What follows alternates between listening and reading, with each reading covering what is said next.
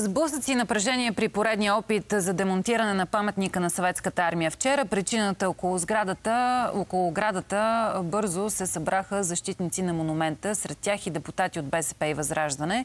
При опит на заместник председателя на БСП Георги Свиленски да пробие огражденията се стигна до нараняване на ръката му.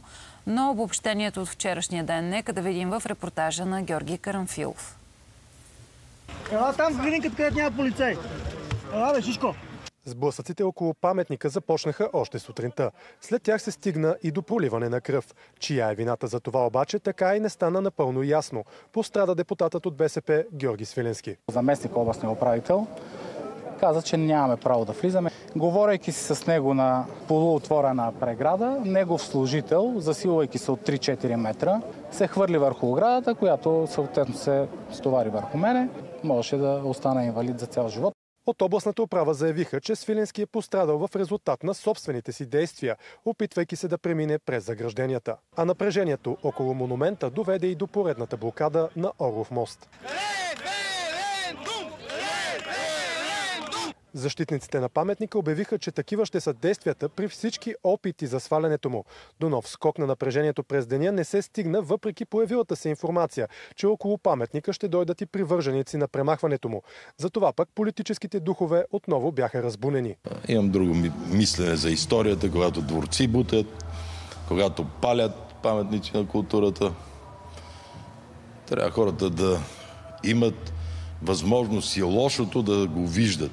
Това е решение, което отдавна се знае за него, отдавна се прави стъпки в тази посока. Знаете, че има голямо а, така очакване от обществеността в София да се случи. Твърдим, че този кран, който е поставен тук, скелето и цялата друга техника са поставени и платени в нарушение на закона. Народ, който не си пази историята и не я вижда такава каквато е било и го е срам от нея, той няма бъдеще. От областната управа на София обясниха, че демонтажът ще се извърши на няколко етапа. Ще бъде доизградено скелето, ще бъдат демонтирани най-високите фигури. Според скулптура Марин Марков, повредата на паметника е заради проникнала влага в бетонната основа на фигурите. В краката на войника има сериозни пукнатини, които на места силно са до 4-5 см. След като фигурите бъдат свалени и реставрирани, ще бъдат изложени в Музея на социалистическото изкуство, обясниха от областната управа.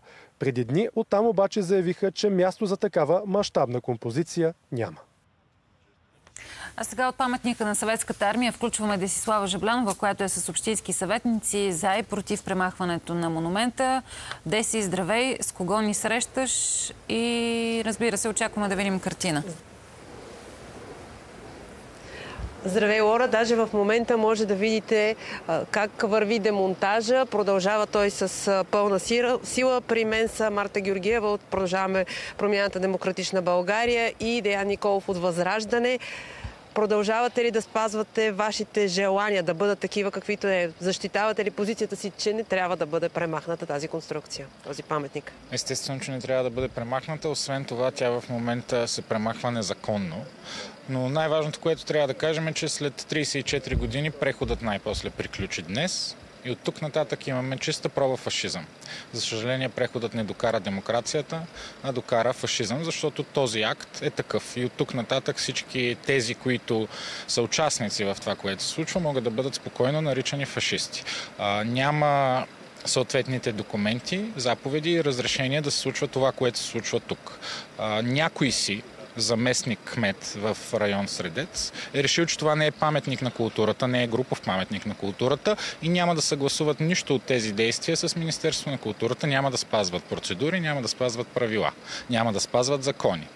Просто ще качат едни хора, които уж демонтират, но всъщност режат с флекс фигурите. Тоест в момента се унищожава паметника, той не се е демонтира. От тук нататък той няма как да бъде възстановен. Вашия отговор? Моя отговор е, че се изпълнява второ решение на Общинския съвет за Който демонтаж е а, на монумента на окупаторската за България армия. Много дълъг път беше извървян от цялото ни общество, за да се стигне до тук. И днес в София цялото от една малка се клика. диша по-свободно и празниците ще са ни по-светли, защото най-сетне падна този Това ли е заплашително... Това ли е върха на вашето заплашително управление? размахан на шпаги над всички български институции. А, както казах, много дълъг път а, се извървя. 30 години а, чакат хората този родолюбив акт.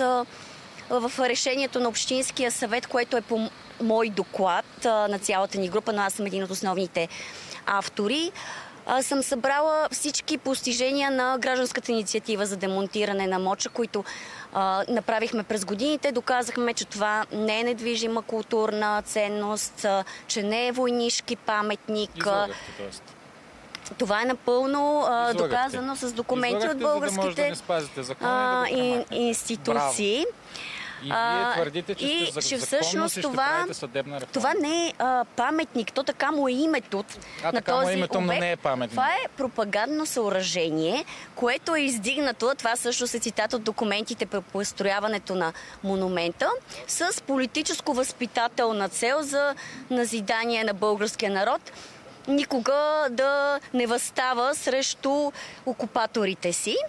А, така че всичко това е документално изложено и този Предполагам, а, за това издигнахте възможно най-комунистическия кандидат за кмет, който вече е и кмет. това Този- по никакъв начин не ви представя. Този не доклад се превърна в реше... За, за второ решение на Общинския съвет от, а, от втори състав а, на представителството на софийските а, граждани и в момента процедурата е в ръцете на областния управител като собственик и толкова дълго се забави, а, за да могат именно да бъдат изпълнени всички законови стъпки. които не са изпълнени. Режейки този паметник на парчета, как ще бъде възстановен? А, това е техническо решение. Той слага на, на части. А, бих искала да кажа, че всъщност това е едно изключително демократично Да, и компромисно, е и компромисно да видим какво а, решение, защото да този монумент на окупаторската армия всъщност не се разрушава, а, а, а се, се разрушава. демонтира. И ние приемаме, че има всякакви хора, има такива, Не, не които приемате, искат да се кланят, да се кланят на окупаторите на България и на собствените си насилници. Вие издигнахте кандидат И за кмет всъщност направихте те ще могат да направят това, примерно в музей на терора, а не а, да го Този терор е на- налаган от дядовците на вашия кмет. Нали го разбирате колко лицемерно е това, което говорите? Да, всъщност това, Нека ако има символ на фашизма в България, той се намира тук. Той се намира в Защото всъщност всички тоталитарни а, режими в крайна сметка са нанесли а, еднаква жестокост на човечеството. Не може И да... вашия режим е тоталитарен, госпожо. Какво трябва да има Нека тук? да направим. Вие ще подкрепите ли днес Възраждане заедно с БСП? Ще внесем доклад за провеждане на референдум за отмяна на вашето решение. Ще подкрепите ли софиянци да вземат решение по този казус, което е Са се най-демократичното? изказали два пъти. Не, не, не, веднъж нека да се- 93-та, нека да се изкажат веднъж сега на а, референдум. Страх ли ви от референдум? 2023-та. Знаете ли какви ще са година? резултатите? Според социологически проучвания 66% от софиянци не желаят Местният премахването парламент му. представлява гражданите на София и това са Много удобно да се измъкнете големи демократисти. Това, госпожо, е фашизъм. Антидемократичните партии първи се възползват, Напротив. а, разбира се, от постиженията на демократите. партии искат референдум, Може а да вие демократите не искате а, референдум. референдум. То си личи кой какъв е. Имате ли комунист кмет? Имате. Така, какво трябва да има според вас на място на този паметник? Трябва да не се пипа и да се спре А, този вандалски Трябва акт да се отзад. освободи това окупирано пространство. За мен най-доброто е да бъде градина, както е създадена тази а, княжеска градина. И всъщност ще има конкурс. А, в решението на Общинския съвет а, и това нещо е решено, че ще има международен конкурс за пространството. Имаше издигнати лозунги, надписи тук, че би било хубаво да има някои а, български герои, които да бъдат поставени тук. Какво е вашето мнение? Нека не пипаме паметника, все още не е късно, макар че половината го отрязаха. Нека проведем референдум. Защо ви е страх от референдум? А, ще има конкурс. Всъщност, разбира се, не мога да За разбера. паметника. Ето това е демокрацията. Не иска да влезе в диалог госпожата, не иска да говорим. Кажете лично ние мнение сме- какъв е проблема ние да има сме референдум. говорили 30 години, сте, за да. стигнем до тук. За да стигнете наистина е извървян много дълъг път и просто това е един акт, който Няма дължим на всички избити, затворени по лагери, лишени от земя, Ма от дядото на образование. ги е и вкарвал там, госпожо. обезправени, Това е толкова на обезправени, че са били карани а, да наричат окупаторите си освободители.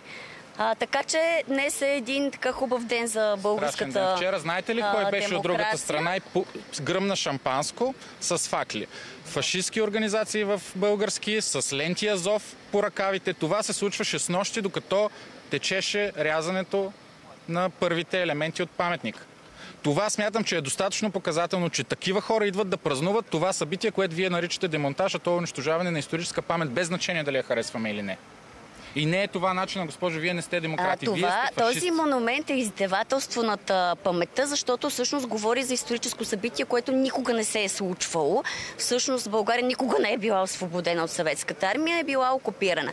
И затова казвам, а, че най-сетне ние може да наречем а, нещата с истинските им имена, да спрем да се страхуваме от шпаги на надвиснал, надвиснал над а, главите, ми, главите ни като общество и да Васил наречем... Терзиев не е ли надвиснал над главата ви? Не, темата е паметника. Този син на комунисти.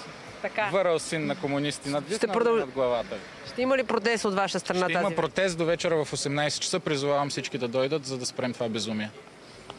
Ще има ли хора, които ще продължат да подкрепят премахването на паметника? Има фашисти. А вижте, както написа една дама в социалните мрежи, това ми е подаръка за всичките коледи до от сега до края на живота ми. Така че ще има хора, които много дълго чак, са чакали този момент на освобождение. Да, хора с ленти на и ще има светли празници за всички. Много светли празници. Тоест- фашизъм в България. Да очакваме, че следващите дни ще бъдат премахнати напълно тези фигури, ще бъдат разрязани и махнати. Да, очакваме го всички в ръцете на областната управа. И очаквате една малка клика фашисти в центъра на София. Каква ще бъде следващата стъпка? Следващата стъпка – конкурс за пространството. Това е. Да, това е, чухте. Фашизма в България отново е възстановен. Честито на всички българи. Вашите заключителни думи не сте съгласни, да фашизъм и виждате ли? А, фашизъм, национал-социализъм, комунизъм са ни тоталитарни режими, които са осъдени като престъпления срещу човечеството. Благодаря ви. Това е колеги от нас. На фона на паметника, който се демонтира, може сами да видите и вашата преценка си, ваша лична. Благодарим ти, Деси, за това включване. Отиваме сега към една